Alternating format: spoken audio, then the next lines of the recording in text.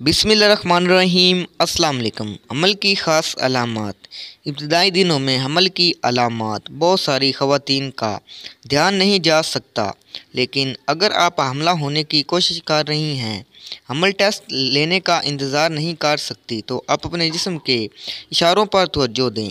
آپ حاملہ ہو تو آپ کو کیسے پتہ چلے گا؟ جب آپ کسی بچے کی تلاش کر رہی ہیں، تو یہ ایک بہت عام سوال ہے۔ حمل کی علامات ایک عورت سے دوسری عورت میں مختلف ہو سکتی ہے، لیکن کچھ ایسا بھی ہے جو ممکنہ حمل کی نشاندہی کرتے ہیں۔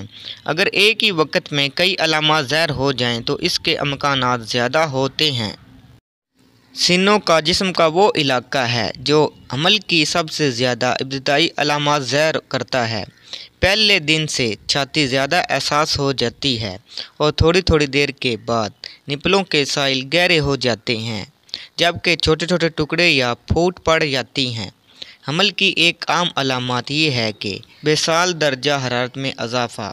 یہ ہے کہ جب ہم اٹھتے ہیں تو ہمارا جسم کا ایک جسم۔ یہ فرض کرتے ہیں کہ معمول کا بنیادی درجہ حرارت چھتیس ڈگری کے لگ بھگ ہے۔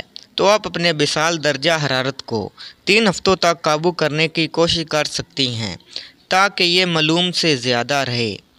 کم سے کم اٹھارہ دن یہ امکان، بہت زیادہ امکان ہے کہ آپ حاملہ ہو۔ اچانک احساس، بدبو کی طرف نفرت، جن چیزوں کا آپ استعمال کرتی تھیں یا خوشبو کی تعریف کرتی تھی تو آپ پہلے محسوس نہیں کیا تھا۔